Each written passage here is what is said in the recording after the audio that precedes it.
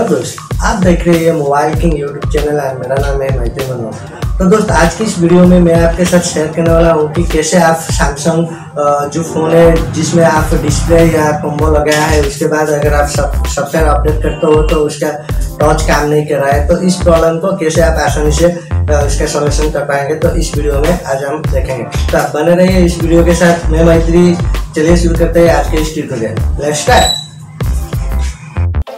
दोस्त देखिए, ये है एक सैमसंग जे टू फ़ोन जिसको मैंने अपडेट किया तो उसके बाद उसके सॉफ्टवेयर उसका टच स्क्रीन काम नहीं कर रहा है। तो ये ऐसा क्यों हो रहा है?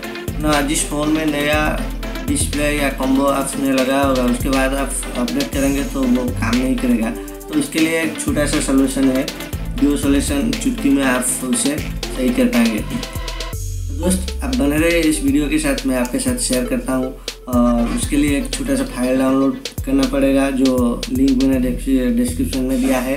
तो आप चाहें उसे उस फ़ाइल को वहाँ से डाउनलोड करके आप उसमें इस्तेमाल करके इसका जो टच स्क्रीन है, उसे दोबारा काम कर सकते हो।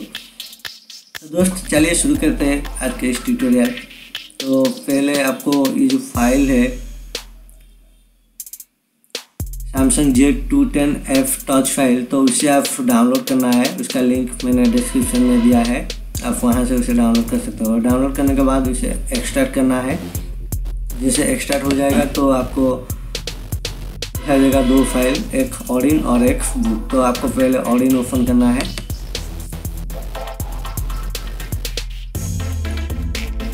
जैसे आप ऑडिन ओपन करेंगे तो पहले आपको यहाँ पर एफ़ पर सिलेक्ट करना है। पर सिलेक्ट करके आप वो फ़ाइल को जो और एक दूसरा फ़ाइल था, उस फ़ाइल को आपको वहाँ पे अपलोड करना है।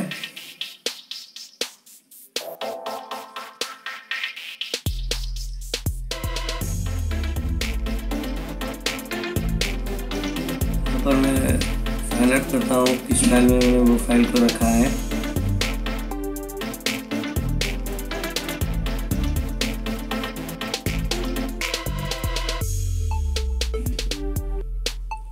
देखिए, मैंने एक्सट्रैक्ट किया था तो दो फ़ाइल है तो मैं ये पहला सेकेंड वाला सिलेक्ट कर लेता हूँ ए पी पर।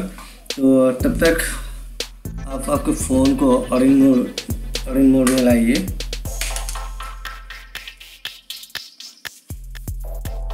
तो दोस्तों, इसे ऑरेंज मोड लाने के लिए आपको एट टाइम प्रेस करना पड़ेगा वॉल्यूम डाउन और home key and power key at time आपको प्रेस करना है। जैसे आप प्रेस करेंगे तो आपको ऑडिन मोड दिखाई देगा। तो ये देखिए, ये ऑडिन मोड आ गया।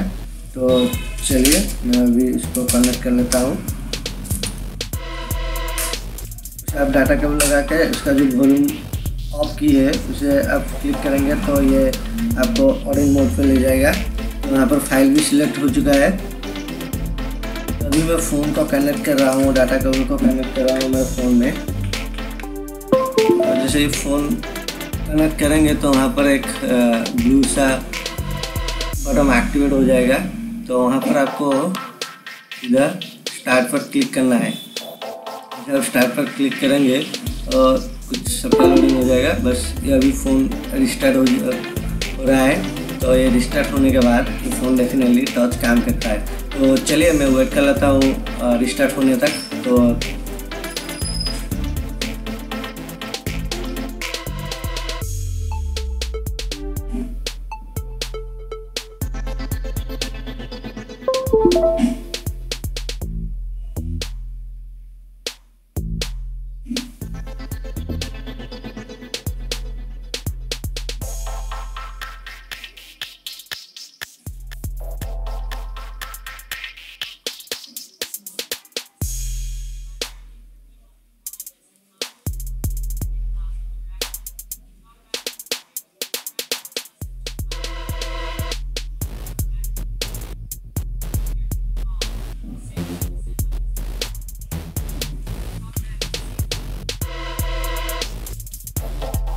दोस्त, देखिए, ये फ़ोन अभी ऑन हो गया है। तो चलिए देखते हैं उसका टच काम कर रहा है या नहीं काम कर रहा है।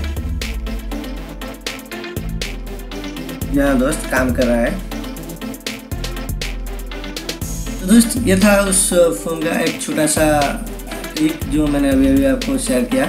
तो दोस्त, उम्मीद करता हूँ ये वीडियो आपकी पसंद आई होगी। अगर पसंद आई तो दिल से एक लाइक देना और मेरे चैनल को सब्सक्राइब करना। दोस्त, फिर मिलते हैं किसी एक दूसरे वीडियो के साथ। तब तक के लिए बाय बाय you